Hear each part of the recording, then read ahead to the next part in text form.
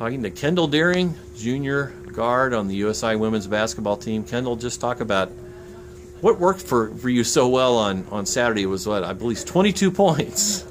Um, definitely my teammates worked great in having them like and having just their offense work very hard and we just ran everything right and did everything that we needed to do and worked completely well as a team and that's what really helped me out on Saturday.